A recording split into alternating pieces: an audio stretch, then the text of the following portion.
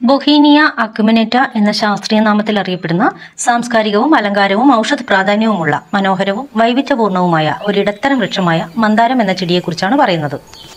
മന്ദാരം ചെടിയുടെ സവിശേഷത വളപ്രയോഗം കീടങ്ങളും രോഗങ്ങളും പാരമ്പര്യ ഭക്ഷ്യ വൈദ്യ ഉപയോഗങ്ങൾ പുനരുൽപാദനം എന്നിവയൊക്കെയാണ് ഈ വീഡിയോയിൽ ഞങ്ങൾ ഉൾപ്പെടുത്തിയിരിക്കുന്നത്. വിവരങ്ങൾ വിശദമായി അറിയാൻ വീഡിയോ മുഴുവനായും കാണുക.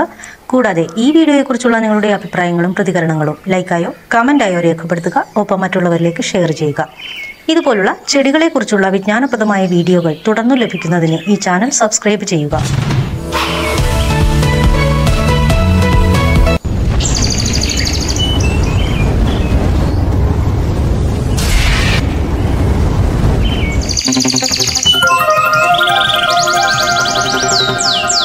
ചില പ്രദേശങ്ങളിൽ ഇതിന് white orchid tree snowy orchid tree miniature white bauhinia തുടങ്ങിയ പ്രാദേശികമായി പല പേരുകളിൽ ഇത് അറിയപ്പെടുന്നു തെക്കുകിഴക്കൻ ഏഷ്യയിലും ഓസ്ട്രേലിയയുടെ ചില ഭാഗങ്ങളിലുമുള്ള ഒരു ഉഷ്ണമേഖലാ വൃക്ഷമാണിത്.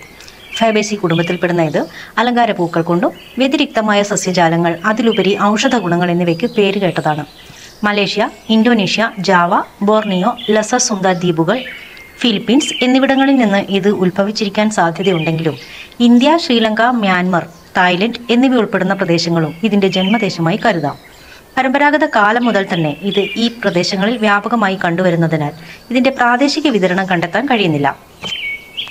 ഇതിന്റെ പൊതുനാമമായ ബൗഹീനിയ ബൗഹിൻ സഹോദരന്മാരായ സ്വിസ് ഫ്രഞ്ച് സസ്യശാസ്ത്രജ്ഞന്മാരുടെ പേരിലാണ് അറിയപ്പെടുന്നത്.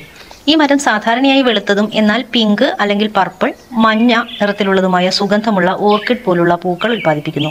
ഇന്ത്യയിൽ തെക്കുകിഴക്കൻ സംസ്ഥാനമായ കേരളത്തിലെ ചില ഭൂപ്രദേശങ്ങളിലും ഓസ്ട്രേലിയയിലെ കേപ്യോർക്ക് പെൻസുലായിലും ഇത് സ്വാഭാവികമായി മാറിയിരിക്കുന്നു. ലോകമെമ്പാടും ഈ ചെടിക്ക് നിരവധി എത്തനോ ബൊട്ടാണിക്കൽ ഉപയോഗങ്ങളുണ്ട്. അത് തുടർന്നു വരുന്ന ഭാഗങ്ങളിൽ വിശദമായി പറയുന്നുണ്ട്. പ്രതീകാത്മക പ്രാധാന്യവും ഈ ചെടിക്കുണ്ട്. അതുകൊണ്ട് തന്നെ ആകർഷകമായ പൂക്കൾക്കും സസ്യജാലങ്ങൾക്കും വേണ്ടി പാർക്കുകളിലും പൂന്തോട്ടങ്ങളിലും തെരുപോരങ്ങളിലും ഇത് പലപ്പോഴും ഒരു അലങ്കാര വൃക്ഷമായി വളർത്തുന്നു. ഇതിന്റെ പുറന്തൊലി ഇലകൾ പൂക്കൾ വേരുകൾ എന്നിവയുൾപ്പെടെ വിവിധ ഭാഗങ്ങൾ ഔഷധ ആവശ്യങ്ങൾക്കായി പരമ്പരാഗത വൈദ്യശാസ്ത്ര സമ്പ്രദായങ്ങളിൽ ഉപയോഗിച്ചു വരുന്നു. പക്ഷികൾ പ്രാണികൾ ചെറിയ സസ്തനികൾ എന്നിവയുൾപ്പെടെ വിവിധ വന്യജീവികൾക്ക് ഭക്ഷണവും ആവാസ വ്യവസ്ഥയും ഇത് നൽകുന്നു. ഇതിന്റെ പൂക്കൾ തേനീച്ചകളും ചിത്രശലഭങ്ങളും പോലുള്ള പരാഗണത്തെ ആകർഷിക്കുന്നു. അതിലൂടെ ജൈവ വൈവിധ്യത്തിനും ആവാസ വ്യവസ്ഥയ്ക്കും ഇത് വളരെ വലിയ സംഭാവന നൽകുന്നു. ഈ ചെടി സസ്യങ്ങൾക്കോ മൃഗങ്ങൾക്കോ വിഷകരമല്ല. അതുകൊണ്ട് തന്നെ ഈ ചെടിയുടെ പല ഭാഗങ്ങളും ഭക്ഷ്യ ആവശ്യത്തിനും പാചകങ്ങളിലും ഉപയോഗിക്കുന്നു. ഒഡീഷയിലെ പല പാചക വിഭവങ്ങളിലും ഇത് ചേർക്കുന്നുണ്ട്. അഞ്ചു മുതൽ പത്ത് മീറ്റർ വരെ ഉയരത്തിലെത്തുന്ന ഇടത്തരം വൃക്ഷമാണ് മന്ദാരം. ഇടതൂർന്ന ഇലകളുള്ള ഈ ചെടിയുടെ ഇലകൾ വ്യതിരിക്തവും ആഴത്തിൽ രണ്ട് ഭാഗങ്ങളും ഉള്ളതാണ്.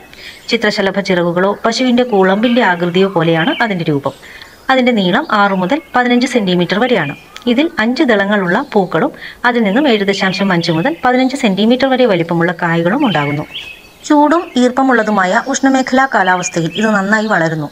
തണുപ്പുള്ള പ്രദേശങ്ങളിലും വളർത്താൻ കഴിയും. എന്നാൽ മഞ്ഞുള്ള സ്ഥലങ്ങളിൽ മഞ്ഞിൽ നിന്ന് സംരക്ഷിക്കേണ്ടതും അത്യാവശ്യമാണ്. പൂർണ സൂര്യപ്രകാശത്തിലും ഭാഗിക തണലിലും വളരുന്ന ഒരു ചെടിയാണിത്.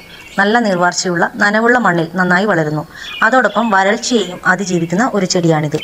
ആറിനും ഏഴ് ദശാംശം അഞ്ചിനും ഇടയിലുള്ള പി എച്ച് ശ്രേണിയാണ് ഈ ചെടിക്ക് ഏറ്റവും അനുയോജ്യം. ഈ ശ്രേണി ചെടിയുടെ ആരോഗ്യകരമായ വളർച്ചയ്ക്കും വികാസത്തിനും സഹായകമായ ന്യൂട്രൽ മണ്ണിൽ നിന്നും അല്പം അസിഡിറ്റി കൂടുതലായ അവസ്ഥയാണ്.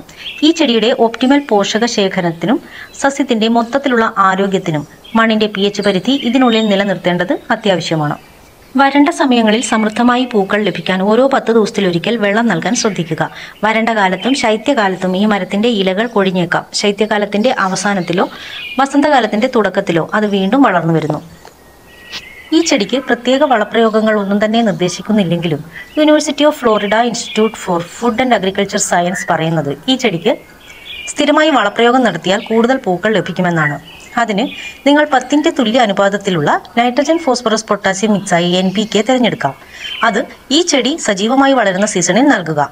സാധാരണയായി വസന്തകാലത്തും വേനൽക്കാലത്തിന്റെ തുടക്കത്തിലും വളപ്രയോഗത്തിന്റെ അപേക്ഷാ നിരക്കിന് വളം നിർമ്മാതാവിന്റെ ലേബലിലെ നിർദ്ദേശങ്ങൾ പാലിക്കുക. എങ്കിലും നൂറ് ചതുരശ്ര അടി മണ്ണിന് നൂറ് ഗ്രാം മുതൽ ഇരുന്നൂറ് ഗ്രാം വരെ നൈട്രജൻ എന്ന തോതിൽ പ്രയോഗിക്കാം. വളം നൽകുമ്പോൾ ചെടിയുടെ ഇലയും തണ്ടുമായുള്ള നേരിട്ടുള്ള സമ്പർക്കം ഒഴിവാക്കി ചെടിയുടെ ചുവട്ടിൽ വളം തുല്യമായി വിതറുക. വളം മണ്ണിൽ തുളച്ചു കയറാനും വേരുകളിലെത്താനും വളം നൽകിയതിനു ശേഷം ചെടി നന്നായി നനയ്ക്കുക. മുൻപ് പറഞ്ഞ ചെടി വളരുന്ന സീസണിൽ നാലോ ആറോ ആഴ്ചയിലൊരിക്കൽ വളം നൽകുക. പക്ഷേ അമിതവളം ഒഴിവാക്കുക. ജൈവവളമാണ് തിരഞ്ഞെടുക്കുന്നതെങ്കിൽ കമ്പോസ്റ്റോ അഴുകിയ ജൈവപദാർത്ഥങ്ങളോ നൽകാം. മന്ദാരം ചെടിയെ ബാധിക്കുന്ന രോഗങ്ങളും കീടങ്ങളും ഇവയാണ്. മുഞ്ഞ സ്കെയിൽ പ്രാണികൾ വെള്ളീച്ച കാറ്റർ പില്ലറുകൾ പൂപ്പൽ ഇലപ്പുള്ളി റൂട്ട് ജിയൽ ആന്ത്രാഗ്നോസ്. ഇവയുടെ നിയന്ത്രണവും പരിപാലനവും വിശദമായി അറിയാൻ ഐ വി പാരഡൈസിന്റെ വെബ്സൈറ്റിലെ പ്ലാനിംഗ് ആൻഡ് കെയർ പേജ് സന്ദർശിക്കാം. വിത്ത് മുളപ്പിച്ചും തണ്ടുകൾ വെട്ടിനട്ടും ലെയറിംഗിലൂടെയും പുതിയ ചെടികൾ ഉൽപ്പാദിപ്പിക്കാം. ഉൽപാദന പ്രക്രിയയുടെ വിശദവിവരങ്ങൾ അറിയാൻ വെബ്സൈറ്റിലെ ഡിഫറന്റ് പ്രൊപ്പഗേഷൻ മെത്തേഡ് എന്ന പേജ് സന്ദർശിക്കുകയോ പ്ലാനിംഗ് ആൻഡ് കെയർ എക്സിക്യൂട്ടീവുമായി വാട്സപ്പിൽ ബന്ധപ്പെടുകയോ ചെയ്യാം. ഈ പേജുകളുടെ ലിങ്കും പ്ലാനിംഗ് ആൻഡ് കെയർ എക്സിക്യൂട്ടീവിന്റെ നമ്പറും ഡിസ്ക്രിപ്ഷൻ ബോക്സിൽ കൊടുത്തിട്ടുണ്ട്.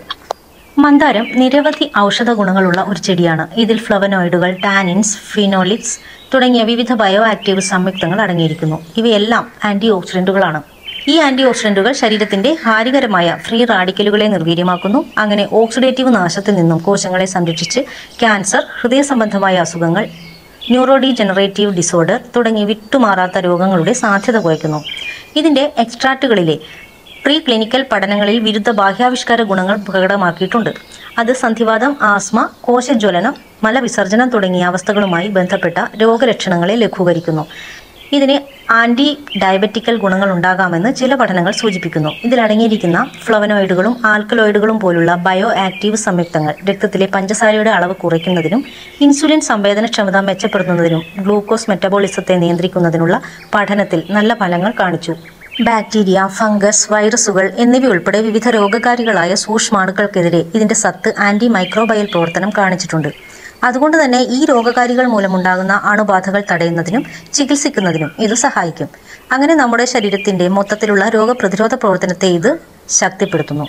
പരമ്പരാഗത ചികിത്സാ ഉപയോഗങ്ങളിൽ മുറിവുകളുടെയും ചർമ്മത്തിന്റെയും ചികിത്സയ്ക്ക് ഇത് ഉപയോഗിച്ചിരുന്നു. കോശങ്ങളുടെ വ്യാപനം കൊളാജൻ സമന്വയം ടിഷ്യൂ പുനർജീവനം എന്നിവ ഉൾപ്പെടെയുള്ള കഴിവാണ് ഈ ചെടിയുടെ സത്തിൽ മുറിവുണക്കുന്ന ഗുണങ്ങളുള്ളതായി റിപ്പോർട്ട് ചെയ്യപ്പെട്ടിരിക്കുന്നത്. ഇതിന്റെ എക്സ്ട്രാക്റ്റുകൾ പ്രാദേശികമായി ഉപയോഗിക്കുന്നത് രോഗശാന്തി പ്രക്രിയയെ ത്വരിതപ്പെടുത്താനും ചർമ്മത്തിന്റെ മൊത്തത്തിലുള്ള ആരോഗ്യത്തെ മെച്ചപ്പെടുത്താനും സഹായിക്കും. ചില പഠനങ്ങൾ സൂചിപ്പിക്കുന്നത് ഇതിന്റെ എക്സ്ട്രാക്റ്റുകൾക്ക് ഹൈപ്പോ പ്രൊട്ടക്റ്റീവ് ഇഫക്റ്റുകൾ ഉണ്ടെന്നാണ്. ടോക്സിനുകൾ മയക്കുമരുന്നുകൾ അല്ലെങ്കിൽ രോഗങ്ങൾ മൂലമുണ്ടാകുന്ന കേടുപാടുകളിൽ നിന്ന് കരളിനെ സംരക്ഷിക്കാൻ ഇവയ്ക്ക് കഴിയും. ഈ ഹെപ്പറ്റോ പ്രൊട്ടക്റ്റീവ് ഗുണങ്ങൾ ഈ ചെടിയുടെ ആന്റി ഓക്സിഡന്റും ആന്റി ഇൻഫ്ലമേറ്ററി പ്രവർത്തനങ്ങളുമാണ്. ഇതാണ് കരളിന്റെ കേടുപാടുകളെ ലഘൂകരിക്കാൻ സഹായിക്കുന്നത്.